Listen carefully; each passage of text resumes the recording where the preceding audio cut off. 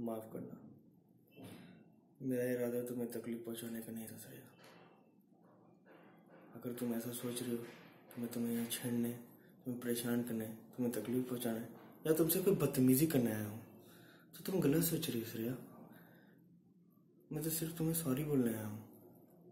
तुम्हारे सामने आना, तुम्हें आई लव यू बोलना, और यहाँ तक कि तुम्हारे घर तक पीछे पीछे आना।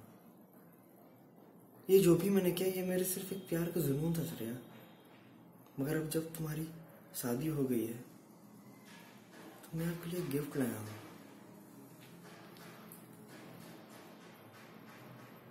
और एक बात और, कि हम पिछली सारी बातों को एक अच्छे दोस्त नहीं बन सकते।